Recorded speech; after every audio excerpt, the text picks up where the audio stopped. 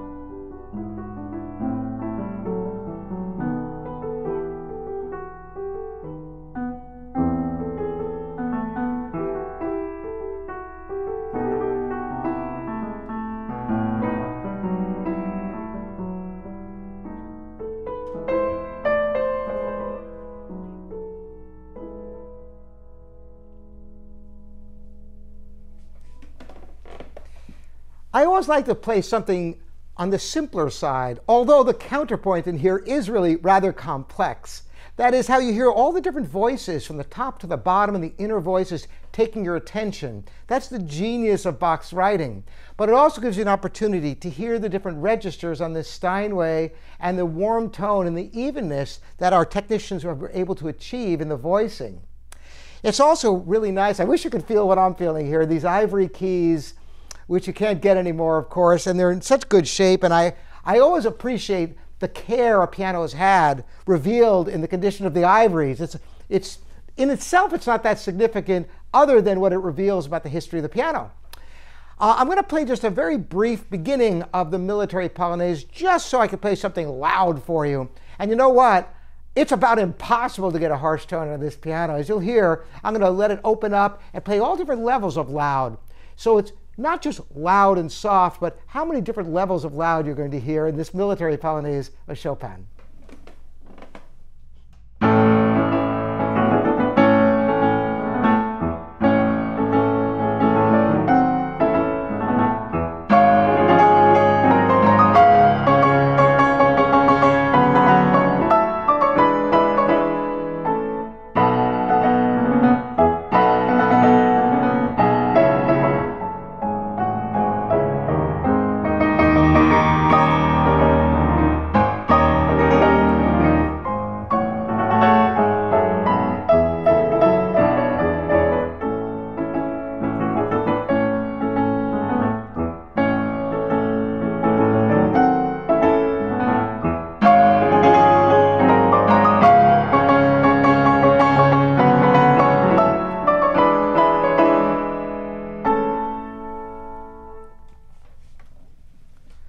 So now you've heard two contrasting pieces of music.